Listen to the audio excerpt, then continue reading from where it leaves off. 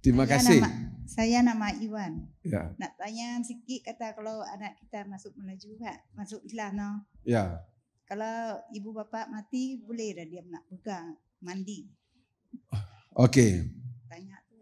Kalau kita masuk Islam, anak masuk Islam, ibu bapa mati, boleh tak dia pergi melawat ibu bapa dia? Boleh. Boleh tak dia tolong uruskan ibu bapa dia? Boleh. Cumanya dia tak buat benda-benda macam Islam dia tak bakar mayat, dia tak bakar. So Islam tengok kalau bakar mayat ni macam berat. Ah, Tapi kalau orang lain buat, itu agama dia, tak apa. Dia kena hormat tak mak bapak dia? Kena hormat tak? Dia masuk Islam, kena hormat. Nabi SAW, ni Nabi Muhammad SAW, one day, the Prophet was sitting uh, among his companions. Dia duduk di kalangan sahabat. And satu kemudian ada mayat bukan Islam lalu. Orang bawa mayat bukan Islam. And Nabi Muhammad bangun berdiri. Bila dia bangun berdiri, orang bagi tahu Nabi Muhammad, "Wahai Rasulullah, wahai pesuruh Allah, itu bukan Muslim. Itu Yahudi." Dia kata, dalam bahasa Arab dia kata innahu Yahudi. Yahudi, ia adalah Yahudi. Nabi kata, Nabi Muhammad kata apa? Alaisat nafsan tidakkah itu pun nyawa itu pun diri manusia juga. So kita respect. So mayat bukan Islam lalu pun Nabi berdiri hormat. Tak boleh sebab tu orang Islam tak boleh kalau mayat bukan Is- Islam lalu tekan horn, teng teng teng tak boleh. Ha? Kena hormat.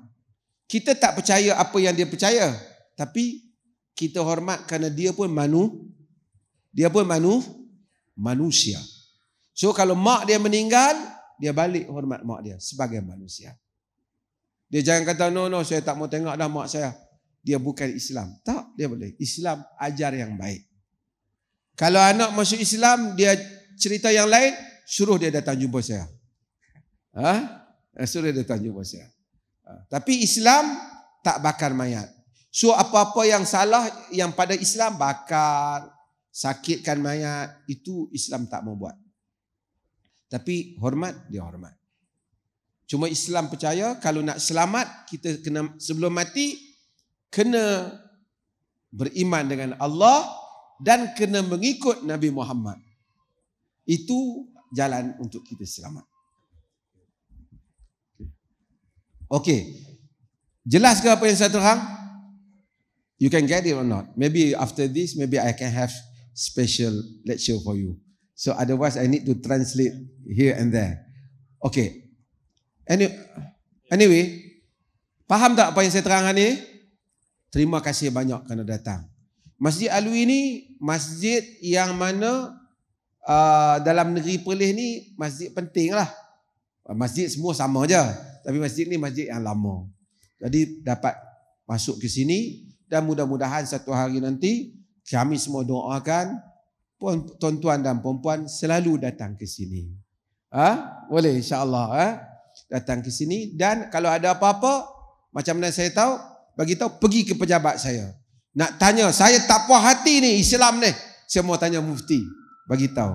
Datang ke pejabat saya insya-Allah nanti saya akan jawab. Boleh? Terima kasih banyak. Nanti kita jumpa lagi insya-Allah. Sekian wassalamualaikum warahmatullahi wabarakatuh.